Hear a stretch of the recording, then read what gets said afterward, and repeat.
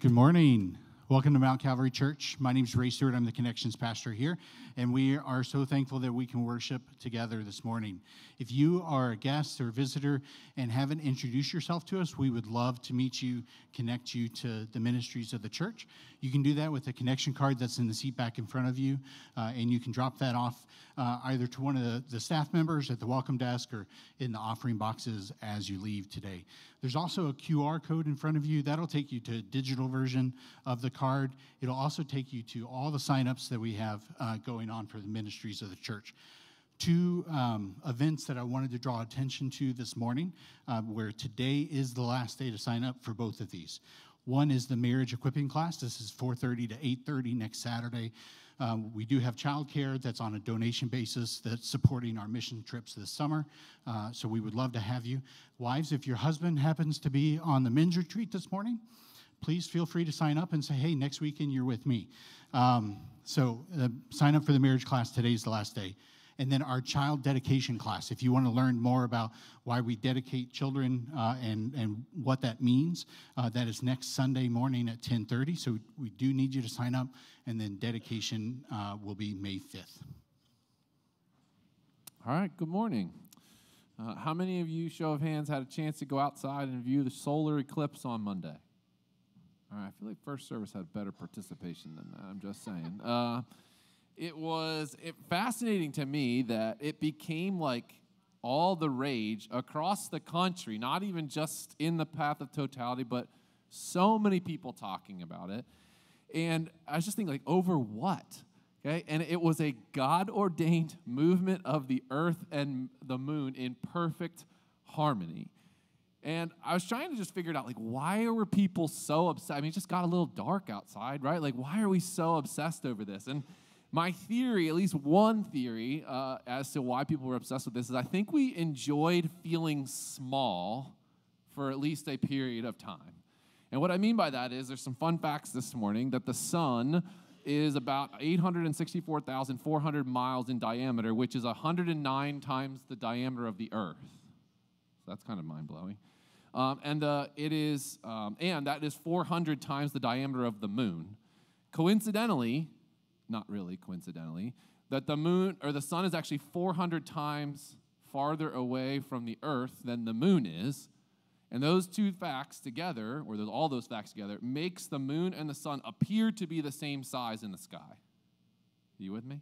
Little science lesson. I'm a math teacher, so I like the numbers part of this. But uh, and so it, what, what happens is it's, it's an incredible coincidence, right? An astronomical event that we just witnessed where, and people are across the country clapping and cheering as the path of totality comes overhead. And many people I've heard talk uh, have said, like, well, maybe God's trying to tell us something through this event. And I would be more inclined to just say that He is simply displaying His perfect majesty and glory to us in this moment. Uh, in Psalm 19, verse 1, David was having a moment, and I, I would love to be like to know what was David experiencing when he wrote this that you'll see here in a second that like what was it? Was it just a dark night where he was looking up and seeing all the sky all the stars? Or maybe it was a solar eclipse. I have no idea. But either way david is blown away by god's glory being displayed in the heavens as he writes what's in front of you. The heavens declare the glory of god and the sky above proclaims his handiwork and David, in a different psalm, and I'd love to know, like, was this the same night that he wrote this? Psalm 8, 3 and 4, he says this When I look at your heavens, the work of your fingers, the moon and the stars, which you have set in place, like big picture, right? Like how big God is. And then he says this What is man that you are mindful of him? And the Son of Man that you care for him. And what a miraculous truth to consider that as big as God is, and the big as the sun is, and orchestrating the moon and the sun and the stars to have witnessed this event this week, that we can read what David says and feel what David says. Who am I that you would be mindful of me? And this was me this week. I was David. I was listening or reading and thinking through how incredible that our God uh, is all of these things, and how incredible that He, as big as He is, that He's mindful of me, that He would care for me. And so, my response is David's response. Our response is David's response. We worship that we behold how magnificent and big our God is, and yet in that same way that He cares for you and for me and sent His Son to die on the cross on our behalf. And so we give Him the praise and the glory that he's due and so we and we enjoy being small in the midst of our big God. Let's stand and sing. We'll start with behold our God.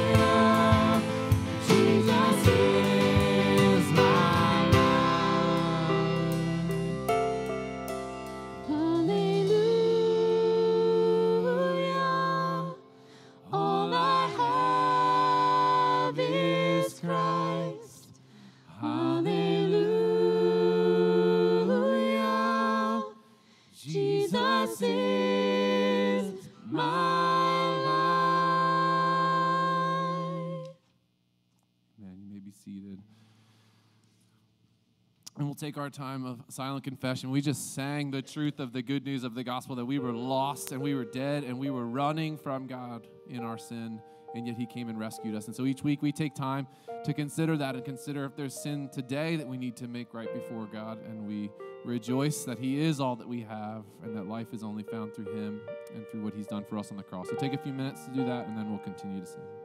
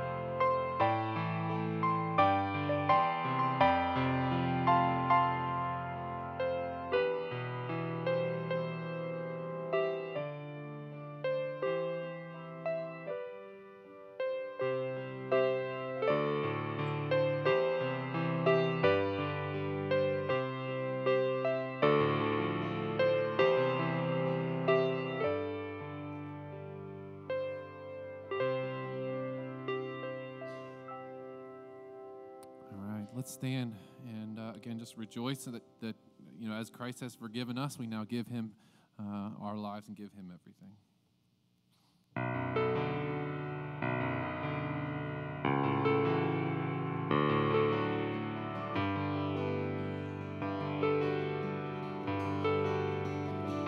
He came from glory.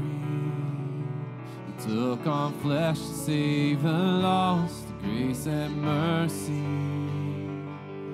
Displayed upon the cross our redemption.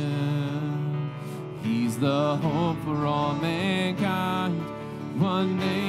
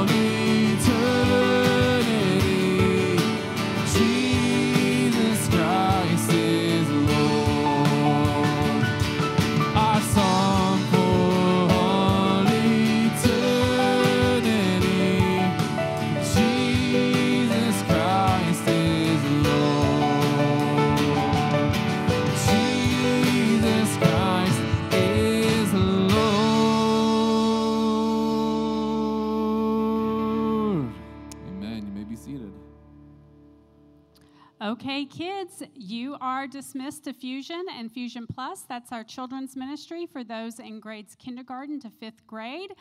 Parents, feel free to walk over to the other building and um, you'll see where you can pick them up after the service. And so we come to our time of giving today, and just a reminder that giving is a form of worship. It's our opportunity to give back to God just a little bit of what He has given to us.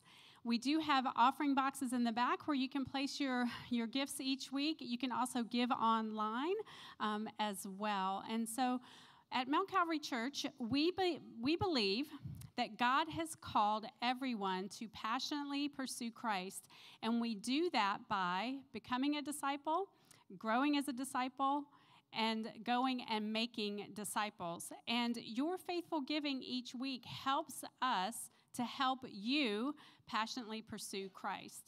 And one of the ways that we do that is helping you grow as a disciple. And we do that through a variety of ways, one of which is our classes. We have different types of classes. We have equipping classes, these are like one off types of. Um, um, instruction we, that happened like a couple weeks ago. We had our place class.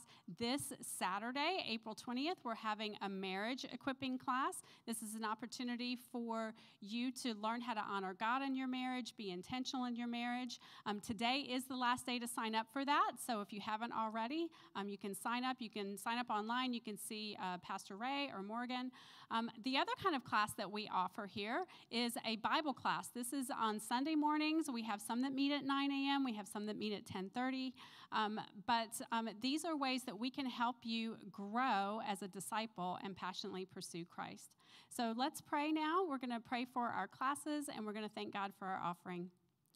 Dear Heavenly Father, Lord, we just thank you for the abundant blessings that you give us each week. We thank you that we can be here together today to worship you. And Lord, we thank you for the faithful giving of our people. Lord, um, help us to uh, use these gifts to passionately pursue you. And Lord, um, with, we thank you for our classes that we are able to offer. Father, I pray that you would just give us wisdom as to the types of classes that we offer, how we can best equip and encourage our people here um, through these classes. Lord, we want to be able to offer more things in the fall and show and so show us how we can do that. Lord, I pray that you would raise up leaders um, for our classes. Lord, bring us teachers. Um, God, just we just thank you. We love you, Lord. Um, we thank you that we can passionately pursue you week after week, and it's in Jesus' name we pray. Amen. Amen. Well, good morning. Welcome to Mount Calvary Church. My name is Jonathan Whitmer. I'm one of the pastors here. And whether this is your first time here or you've been here 20 years, we're grateful uh, that you've chosen to spend your Sunday morning with us as we uh, look to God and look to his uh, son Jesus, our Savior, and an opportunity to focus on him as we look to his word this morning. And uh, so, if you have uh, your Bibles with me this morning, turn to Acts chapter 7. Uh, we've been making our way through the book of Acts on Sunday mornings. And this morning, we're going to try to attempt to make our way through 60 verses. And so, for you podcast listeners out there, that means we're going to go at one and a half speed this morning. So, uh, uh, but seriously, uh, I encourage you to open your Bibles. We're going to look at a lot of scripture. We're going to read through uh, these verses and kind of point out some, uh, some important things. So, I encourage you to do that. And as we begin, I want to ask you a question. Have you ever been accused of doing something by someone else when they're the ones that are actually doing it? Uh, this happens frequently. It's called projection when others accuse you of doing something that they're actually doing to deflect blame or avoid accountability. And I see this regularly in my kids. I don't know if you do. Uh, Wesley is about 14 and 10 years younger than Haley and Zachary. And so my older kids, they're at a more independent stage of their life than he is currently. And, and that provides some, uh, some benefit uh, uh, with some impromptu uh, runs for slushies or Wendy's runs when uh, they all pile in the car and head across town to go get a treat. He loves that. But it also is boring when he's begging them, Would you please play with me? Please play with me. And when he does that, they usually respond in one of two ways. Usually they say, uh, sometimes they say, you know what? I'm really busy, maybe later, not right now. Or sometimes they say, okay, what do you want to do? And they agree to play a game with him or do something with him. And sometimes when that happens, it doesn't exactly go the way that he wants it to go. Him and his big brother play uh, Nerf basketball. And guess who loses all the time? And when it doesn't go the way uh, that, it, uh, that he wants it to go, our youngest often responds in anger, with harsh words, and, and unkind actions to his siblings. I know it never happens at your house, just our house, but, uh, but that's often what happens. And then Dana and I hear the age old complaint Mom, Dad, my brother, my sister, they're being mean to me. When in all reality, he's the one being mean. He's the one that said unkind words. He's the one that's got upset and started swinging at his brother. Uh, and this happens often with brothers and sisters. And I don't think it's just a phenomenon in the Whitmer household. I think you've probably experienced it growing up if you had brothers and sisters. And if you have kids, it probably happens at your house too. Well, in our text today, we see the Jews are projecting. They're accusing Stephen of something that they're actually doing themselves. And in Acts chapter 7, uh, verse 1 begins with a question that the high priest asked Stephen. And here's the question Are these things so? Kind of a weird way to start a chapter. Are these things so? And it makes us wonder what in the world? What in the world are they talking about? In order to understand kind of where we are in chapter 7, we need to go back to the last part of chapter 6. And last week, Pastor Matt started chapter 6, and he told us that, uh, that the church in Acts is growing as both Hebraic and Hellenistic Jews have responded to the gospel and put their faith in Jesus. And so, as their numbers grew, so did their needs, right? And the Hellenistic Jews came to the apostles and they complained and said, Hey, our widows are being overlooked, they're not being cared for. And the apostles recognized that their first priority was to preach the gospel. So they came up with a solution. They chose seven men, including Stephen, to kind of go and meet the needs of the widows and take care of their physical needs.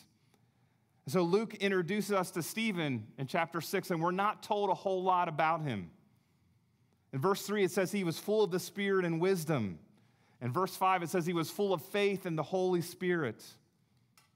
And if we pick up in verse 7, we learn a little bit more about Stephen. Look at verse 7 in chapter 6. The word of the Lord continued to increase, and the number of disciples multiplied greatly in Jerusalem. And a great many of the priests became obedient to the faith. And Stephen, full of grace and power, was doing great wonders and signs among the people. And then some of those who belonged to the synagogue of the freedmen, as it was called, and the Cyrenians and of the Alexandrians and those from Cilicia and Asia rose up and disputed with Stephen. But they could not withstand the wisdom and the spirit with which Stephen was speaking. So, here in the end of chapter six, we see that the apostles continue to be focused on preaching the gospel. They're sharing the gospel, and many people came to faith, including who? Jewish priests. They came to put their faith and trust in Jesus. And in verse 8, we see Stephen's service has grown beyond just meeting physical needs to now focus on spiritual needs. He's now involved in a more apostolic ministry like the other apostles, that it says he is doing great wonders and signs among the people. He's the first person in the New Testament that's not an apostle, that's actually God empowers to do miracles. This is Stephen. And throughout the book of Acts, we see God empowering the, the apostles to do miracles, to do signs and wonders. And these observable and indisputable deeds authenticate both the ministry and the message of the apostles. In case after case, people believed the message that was confirmed by miracles. In verse 11, we see, Then they, the Jews, secretly instigated men who said, we have heard him, Stephen, speak blasphemous words against Moses and God. And they stirred up the people and the elders and the scribes, and they came upon him and they seized him and brought him before the council. And they set up false witnesses who said, This man never ceases to speak words against this holy place and the law. For we have heard him say that this Jesus of Nazareth will destroy this place and will change the customs that Moses delivered to us. Stephen goes from being selected to serve, and now he's seized and slandered. Stephen's teaching was not well received by the Jews. He was full of wisdom and full of the Holy Spirit, and he was communicating and teaching, and he was not well received. And they falsely accuse him of blasphemy. Blasphemy was simply speaking evil about something that God deems sacred. It's speaking false or malicious words about or against God or anyone associated with God and his power and his plan.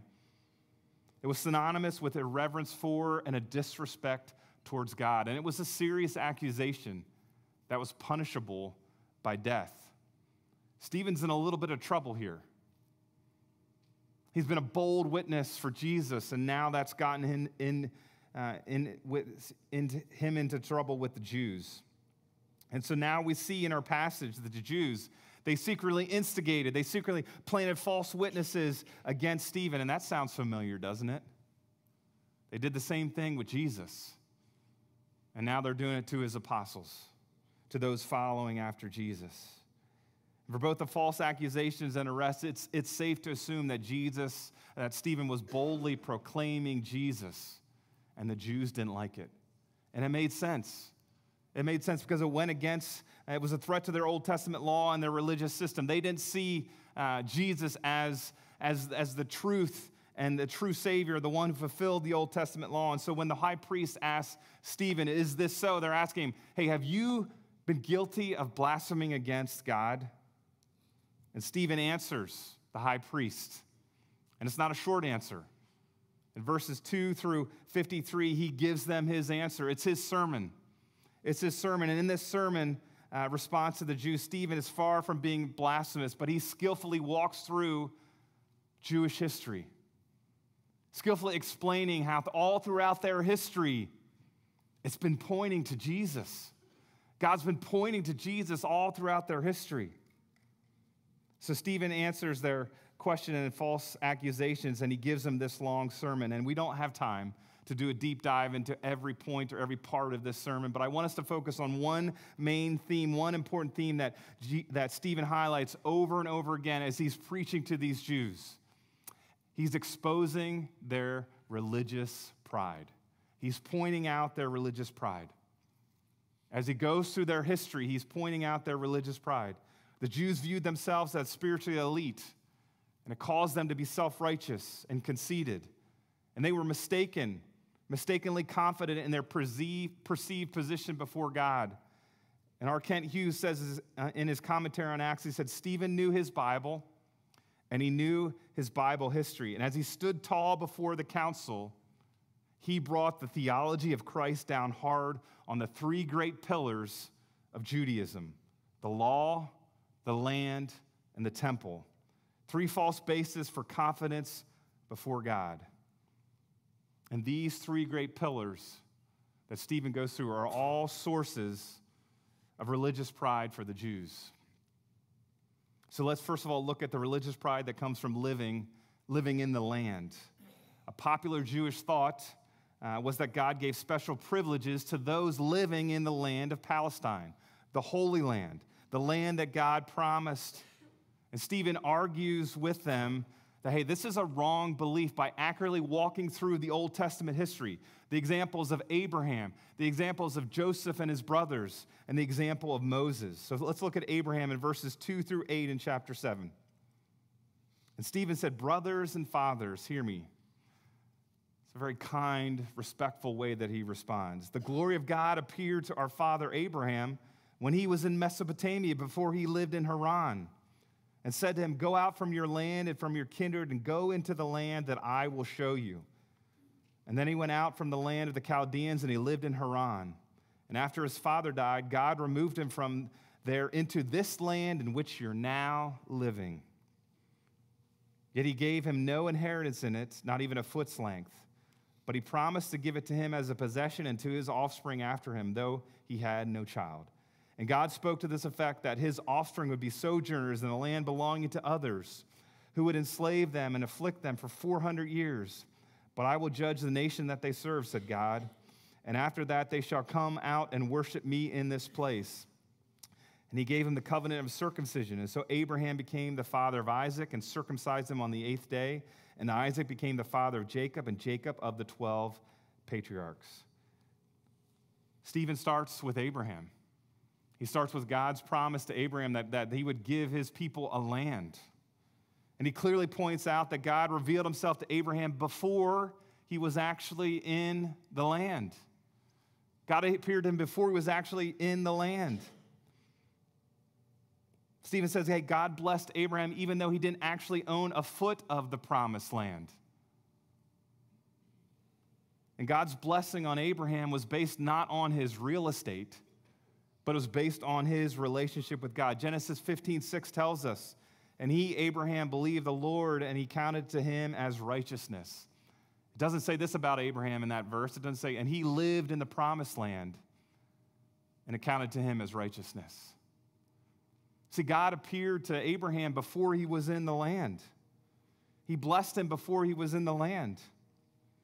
So that's the example of Abraham. He goes on to the example of Joseph and his brothers in verses 9 to 16. see Stephen says, And the patriarchs, jealous of Joseph, sold him into Egypt, but God was with him and rescued him out of all his afflictions and gave him favor and wisdom before Pharaoh, king of Egypt who made him ruler over Egypt and over all his household.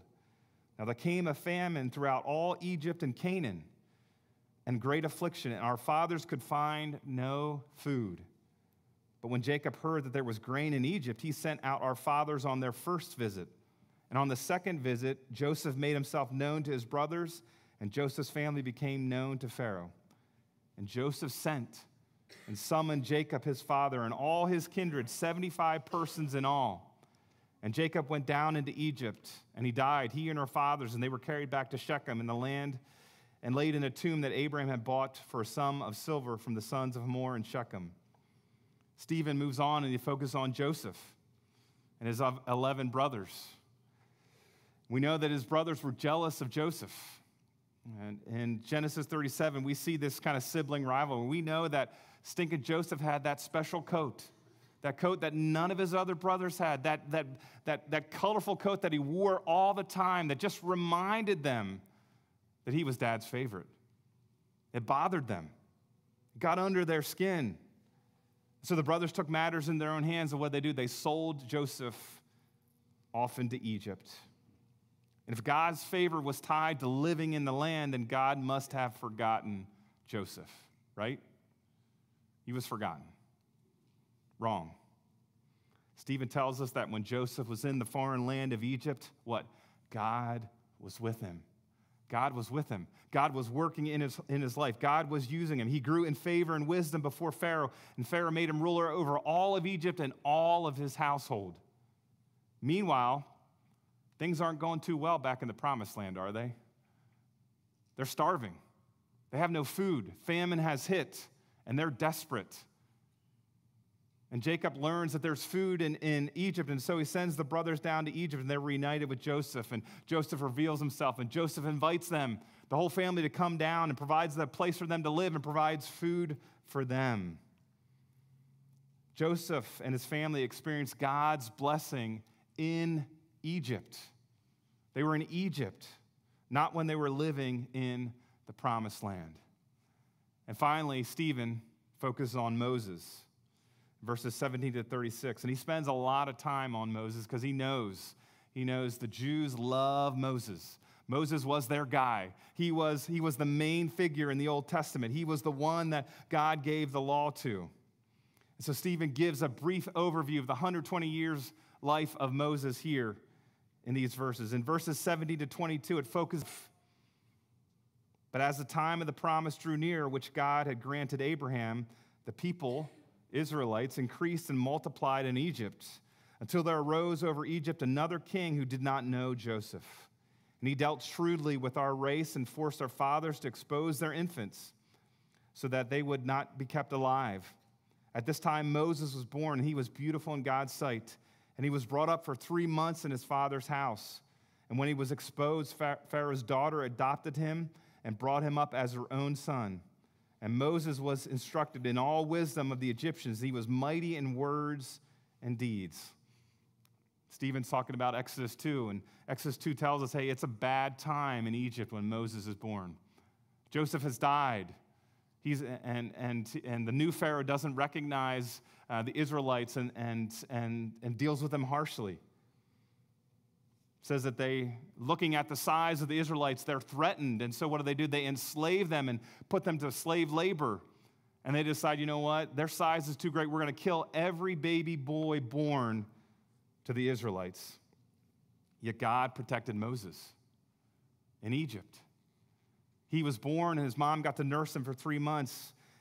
And then, his, eh, then Pharaoh's daughter adopted him. He grew up in privilege in the palace. He was, he was educated.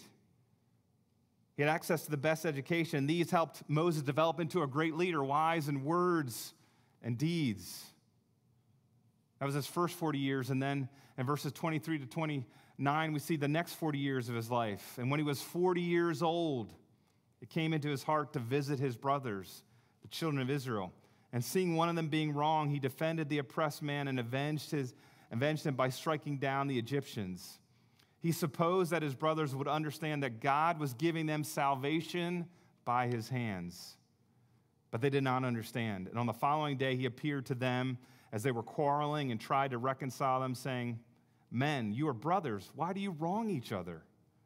But the man who was wronging his neighbor thrust him aside, saying, Who made you ruler and judge over us? Do you want to kill me as you killed the Egyptian yesterday? And at this retort, Moses fled and became an exile in the land of Midian, where he became the father of two sons. Now we see Moses is 40. When his heart turned to his fellow, to fellow Hebrews, he saw their suffering. He had a heart for them. He wanted to try to help them. And he went to visit the people of Israel says he's desired to save them from their situation. And there he witnessed an Egyptian being beaten by an Israelite. And he looks around, he decides to step in and stop it, and eventually kills that Egyptian. And the next day he returns and he finds two Hebrews and they're arguing with one another. He tries to step in and settle the argument. And he's pushed aside, and one bluntly says, Hey, mind your own business. Who made you ruler and judge over us? So you're going to kill us like you killed that Egyptian yesterday? The news of Moses' murder had spread among the Israelites and eventually it made its way to Pharaoh. When Pharaoh found out, he wanted to kill Moses, so Moses ran for the hills. He went to Midian. Stephen tells us that Moses was in Midian for 40 years, living a quiet and simple life, a life of a shepherd. He got married, and he had two kids. Moses left Egypt. And then in verses 30 to 36, it focuses on the last 40 years of Moses' life. Now, when 40 years had passed, an angel appeared to him in the wilderness of Mount Sinai in a flame of fire in a bush. And when Moses saw it, he was amazed at the sight. As he drew near to look, there came a voice from the Lord I am the God of your fathers, the God of Abraham and Isaac and Jacob. And Moses trembled and, and did not dare to look. And then the Lord said to him, Take off your sandals from your feet, for the place where you're standing is holy ground. I've surely seen the affliction of my people who are in Egypt. I've heard their groaning, and I've come down to deliver them. And now I come, and now come, I will send you to Egypt. And then this Moses, whom they've rejected, saying, Who made you ruler and a judge? This man God sent as both ruler and redeemer by the hand of the angel who appeared to him in the bush. This man led them out, performing wonders and signs in Egypt and at the Red Sea and the wilderness for 40 years. When Moses was 80, God called him from the burning bush on Mount Sinai in the wilderness. And there, the angel of the Lord is calling to Moses to go back to Egypt to deliver and rescue them and lead them in the Exodus. And Moses obeys, and he leads the people out of Egypt and through the wilderness for 40 years. But notice what Stephen said uh, in verse 33 about Moses. Then the Lord said to him, Take off the sandals from your feet, for the place where you're standing is holy ground. The Jews thought the promised land was holy ground. But here we see holy grounds wherever God meets with his people. It's not just limited to the physical land of Palestine, the promised land. Holy grounds wherever God meets with his people. And throughout the life of Moses, we see God's greatest miracles that Israel experienced when God met with them and delivered them and helped them. It was outside the land of Israel. The 10 plagues in Egypt, the parting of the Red Sea, God providing for them in their wilderness with water and quail and manna. It's clear from the examples of Abraham, the examples of Joseph, and the examples of Moses that God meets and takes care of his people wherever they are. It doesn't matter what land they're living in, God meets with them. And so here, Stephen's calling out the Jews' religious pride, and he says, Hey, you know what? Living in the land, living in the promised land, it's not proof of God's favor or a personal faith in Jesus. It's not proof of that. Your confidence before God shouldn't be based on a location, it's based on a Savior. And Stephen was trying to tell them about the Savior. Stephen goes on and he says, Hey, religious pride, your religious pride, uh, this false religious pride, you don't get it from, from the law. Look at verse 37. This is Moses who said to the Israelites, God will raise up for you a prophet like me from your brothers. This is the one who was in the congregation in the wilderness with the angel who spoke to him at Mount Sinai and with our fathers. He received living oracles to give to us, and our fathers refused to obey him, but thrust him aside, and in their hearts they turned to Egypt, and Aaron, saying to Aaron, Make for us gods who will go before us. As for this Moses who led us out from the land of Egypt, we don't know what's become of him. And they made a calf in those days and offered a sacrifice to the idol and were rejoicing in the works of their hands. But God turned away and gave them over to the worship of the hosts of heaven, as is written in the book of the prophets. Did you bring to me slain beasts and sacrifices during the 40 years in the wilderness, O house of Israel? You took up the tent of Moloch and the star of your God Rephan, and the images that you made to worship, and I will send you into exile beyond Babylon. Again, Stephen said, hey, another source of Jewish uh, false religious pride is the fact that God met with Moses on Mount Sinai, gave him the law, gave him the Ten Commandments, gave him those two tablets. It was a source of their, their religious pride. And unfortunately, they valued being given the law more than they really valued understanding the law. They didn't understand the law, they didn't understand the purpose of the law. And Stephen reviews how God met with Moses on the mountain, gives him the Ten Commandments, and he calls it living oracles. It's living oracles. Living oracles, not just the Old Testament law, but it's, New Test- it's our New Testament scriptures, all of scriptures. It's alive and active and able to change our hearts and change our lives. He says, We've given you the living oracles. And then he reminds them, even before Moses got down the mountain, what were you doing? You turned your back on God. You had Aaron make a calf for you to worship. You got impatient and you went and worshiped off after idols. And Stephen quotes from the minor prophet Amos in Amos 5, condemning the Israelites for going through the religious motions, offering sacrifices to God when they were actually worshiping God, other gods in their hearts and with their lives. The law of Moses couldn't save the Israelites, and it can't save us because we can't keep it, we can't obey it. The law exposes our sin and shows us our need for a Savior. That's what the law is for. And Stephen even quotes the Old Testament law in Acts 7:37. He's quoting Deuteronomy 18:15 when Moses says, "Hey, I'm going to that God's going to send another prophet like me and that prophet is Jesus. It's Jesus to save them from their sins." Who by faith once and for all could forgive their sin and restore their relationship with God. Again, Stephen calls out the Jewish religious pride and says, hey, being given the law, it's not proof. It's not proof of God's favor or personal faith in Jesus. And your confidence before God shouldn't be based on simply having the law. And finally, he exposes their religious pride based on landmarks. The Jewish people loved their landmarks. Look at verse 44. It says, Our fathers had the tent of witness in the wilderness just as he who spoke to Moses directed him to make it, according to the pattern that he had seen. Our fathers, in turn, brought it with Joshua when they disposed the nations that God drove out before our fathers. So it was until the days of David, who found favor in the sight of God and asked for, to find a dwelling place for the God of Jacob. But it was Solomon who built a house for him. Yet the Most High does not dwell in houses made by hands. As the prophet says, Heaven is my throne, and earth is my footstool. What kind of house will you build for me, says the Lord? What is the place of my rest? Did not my hand make all of these things?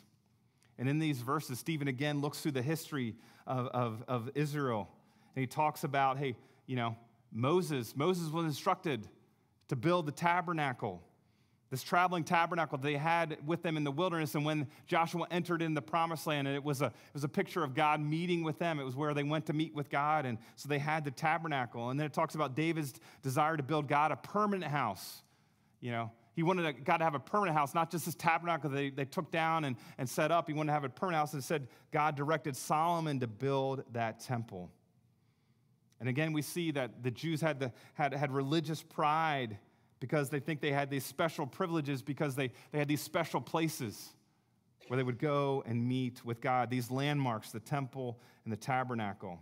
And these were significant structures. They were meant to be significant structures. They were meant to be a place where they could come and worship, a holy place. But Stephen shares an important truth in verse 48, 48 that I think we all need to see. The all powerful, ever present God of the universe is not limited to a single place or space. He's not limited to a single place or space, and he quotes Isaiah 66 to reinforce the truth. Does the, does the, the Most High God dwell in a house made by man? No, he's created everything. He's, he, he's, he can be anywhere. He doesn't need just to be in a special te- temple or tabernacle. God's a pilgrim God. He met with Abraham, right, when he was in Mesopotamia. He met with, with Joseph in Egypt. He met with Moses in, in Midian. And guess what? He meets with us wherever we are. We can call on him and he'll meet with us. We don't have to be at a special place. He's a pilgrim God. One final time, Stephen calls out their pride, saying, Hey, your landmarks, they're not proof of God's favor or personal faith in Jesus. And your confidence before God shouldn't be based on a building shouldn't be based on a building. And the false elevation of the land and the law and landmarks, thinking they provided some salvific benefit or spiritual blessing, it confused the Jews. It confused, it clouded their understanding that they were sinners in need of a Savior. It clouded their understanding that Jesus came to save them. He was the Messiah. He was the one that they needed to put their faith and trust in. And Stephen concludes his sermon in verses 50 to 53. he says, Hey, you know, Jews, your arrogance, your, your religious pride, because of that, you historically, you historically persecuted and rejected and killed the Old Testament prophets who God sent to point you to the Messiah, to the Savior. You rejected them and even killed them. But now Jesus had come. Jesus had come to earth. He'd come and ministered. And he went to the cross and he died. And he rose again and went back to heaven. And the church is born, and the apostles are, are, are, sharing the good news of the gospel. And Stephen stands before the 71 Jewish leaders of the Sanhedrin and he says, But you're without excuse. You're without excuse. You've seen Jesus, you've heard Jesus, and you rejected him. You murdered him, you killed him. You murdered the righteous one. The righteous one was a, is, is a title for Jesus. It's used here and two other times in Scripture. And Stephen says, You're without excuse. You've seen Jesus, you've heard him, you rejected and killed him. And with that, Stephen's sermon is over. Stephen's sermon is over. But I think it's clear through this long and thorough sermon that Stephen shows that the Jews viewed themselves as the spiritual elite. Clearly reveals that they were self righteous and conceited, that they were full of religious pride with a, a false confidence in their position before God. And the question for us is well, how does that apply to us today? And the truth is, if we're not careful, we can too be just like the Jews that Stephen was communicating with. Let's think about the land. Hey, I live in the United States of America. It's a land that was founded by Christians on, uh, uh, with Christian principles. It's a land where I get to have the freedom to worship God, and I am grateful. I'm grateful that we live in a land where we can worship God. I'm grateful that we have many, many people that have, have served and fought to protect that freedom. But it's easy for us to believe that because I live in this nation, that I'm good with God. That I'm good with God. That after all, it's a, America's a Christian nation, and everyone who lives there is Christians, right? How about the law? Well, I got three Bibles. And one of them is the study Bible. And I got the YouVersion app on my phone that I, that I read regularly. And it's easy for us to believe that because we have all these different versions of the Bible and all these different copies of the Bible, that I'm good with God, right? Or how about the, a landmark? Hey, I go to church or youth group every Sunday. I'm regularly involved in ministry. Uh, I, I, serve in leadership. Uh, it's, it's easy for us to believe that, hey, because I show up here at 625 North Holly Street or 45 Veterans Drive week after week after week, I'm good with God. And all of those things are great things. All of those things are important things. And all of those things are not proof of God's favor, our personal relationship with Jesus Christ. We can live in the United States. We can have multiple copies of a, of a, of a Bible. We can go to church day after day, week after week, and we could still be lost in our sin like the Jews that Stephen was preaching to here in Acts 7. The land, the law, and the landmarks, they couldn't save the Jews, and they can't save us today. They can't save us from our sin and our rebellion against God. Can't. And Stephen's message to the Jews of his day and for us today is simply this it's Jesus, only Jesus. It's Jesus, only Jesus. He says, Hey, you've seen Jesus, you've heard Jesus, you're without excuse. You betrayed and murder him. They heard Peter boldly proclaim a little bit earlier in Acts, in Acts 4:12, and there is salva- and there is salvation in no one else, for there's no other name under heaven given among men which we must be saved.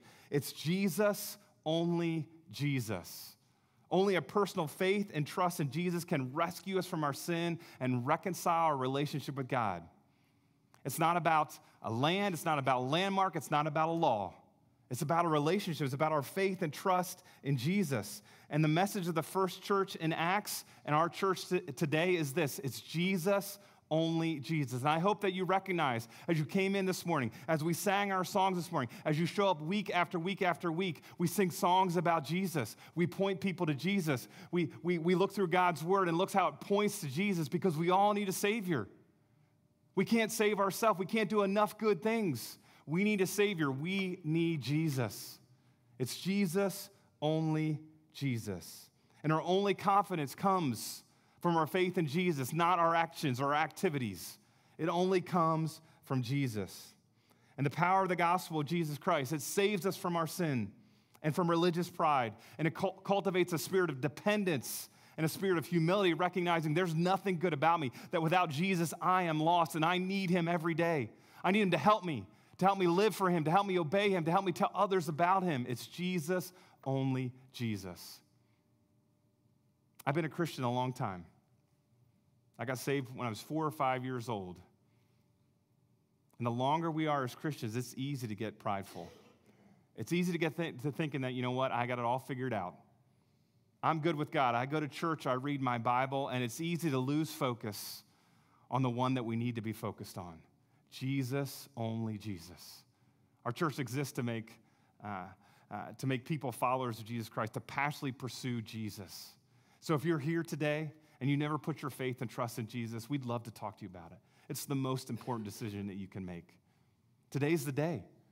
There's no, uh, today's the day. Don't wait. We'd love to talk to you about it. And if you do know Jesus, are we following him? Are we kind of living high on the, the religious pride, like, hey, you know what, I'm good. I read my Bible. I serve here, I serve there, I go to church, I'm good. No. Are we following Jesus faithfully with our everyday lives? Are we, are we looking for opportunities to, to point other people to Jesus? Stephen did that. Stephen did that in this long sermon. It's the only sermon that we know of Stephen. And we'll see next week it didn't turn out real well with him. But this one sermon of Stephen had a lasting impact on our world. Without this sermon of Stephen, safe to say that you know we as, as non-Jewish people may not have ever heard the gospel. But God used Stephen what? To save Paul. And Paul brought the gospel to the Gentiles. And because of that, we have heard the gospel of Jesus Christ. Mount Calvary Church is about one thing it's about Jesus. You show up here on Sunday morning, we're going to sing about him. We're going to read God's word and point to him. We're going to preach about him. That's who we are. Because we need him. I need him. I need to rescue from my, me from my pride and recognize without him I am nothing and nobody. I need his strength, I need his power. It's Jesus, only Jesus. Let's pray. Father, thank you. Thank you for your word. Thank you for the opportunity to open it this morning. We thank you for Jesus. Lord, we thank you that in spite of our sin, in spite of our rebellion, you didn't give up on us. And you sent Jesus to be our Savior. And We're grateful for your word that points to your Son and the hope that we can have in Him. And so, Lord, today I pray that everyone in this room, is examine their lives, would realize their need for you and put their faith and trust in you. And if there's any here that haven't done that, Lord, I pray today that would be the day of their salvation. I pray that they would ask uh, who they came with or, and, and about how they can know you. And Lord, for those of us here who do know you, who may have known you a long time, forgive us when we get full of pride. Forgive us when we think, you know what, we've arrived. You know what, we're, we're all right. We read our Bible, we go to church, we serve. Forgive us for, for losing sight of the fact that we need to preach the gospel to ourselves each and every day.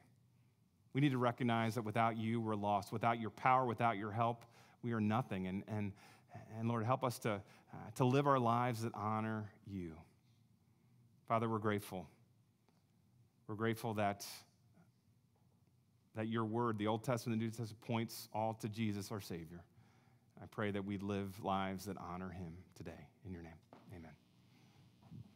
Amen. Let's stand. We'll close singing those exact words Jesus, only Jesus.